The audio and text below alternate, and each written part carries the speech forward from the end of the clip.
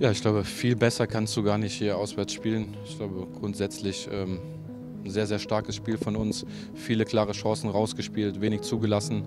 Ähm, aber klar, wir haben uns nicht belohnt. Wir haben das Tor nicht gemacht, äh, beziehungsweise dann zu spät den Ausgleich und am Ende nicht mehr geschafft. Ich glaube, grundsätzlich beide Spiele, Spiele waren gut, viele Chancen rausgespielt, aber auf dem Niveau brauchst du halt den Killerinstinkt, den haben wir leider vermissen lassen. Yeah, a little bit uh, disappointed, of course. I think the, the whole team make a really good game, really good qualification, 180 minutes.